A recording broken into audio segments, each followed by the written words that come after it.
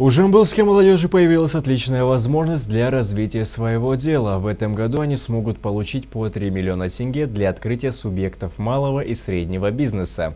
Это безвозмездные гранты. Однако есть несколько условий. Бизнес-проекты должны внести свой вклад в социально-экономическое развитие Жамбылской области. Таким образом, это хорошее подспорье для молодых бизнесменов. В этом направлении специалистами сейчас ведется разъяснительная работа. Подробнее в материале. Ходе встречи молодые люди задавали интересующие их вопросы и получили исчерпывающие ответы от специалистов в рамках данного проекта. Стоит отметить, что этой инициативе уже не первый год, но именно нынче большое внимание будет уделено молодым людям. На это дело из областного бюджета было выделено 303 миллиона тенге, а из республиканского – 21 миллион. Жалпы конкурс болып жатыр.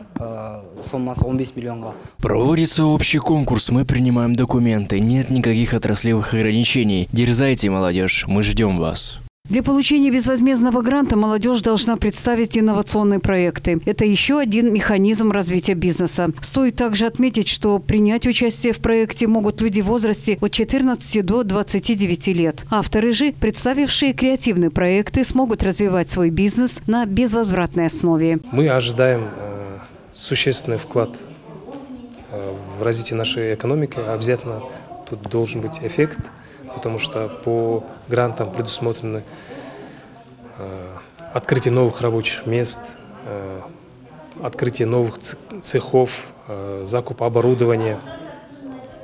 Это все, несомненно, приведет к поднятию экономики именно молодых людей. Они будут вовлечены в бизнес, это их первые шаги. И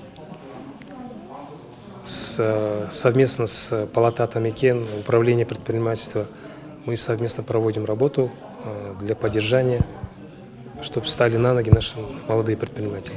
Прием проектов от молодых предпринимателей продлится до 6 июня. Так что двери для талантов открыты настежь. Кулеш Мурзакова, Саната Аралбек, 77 News.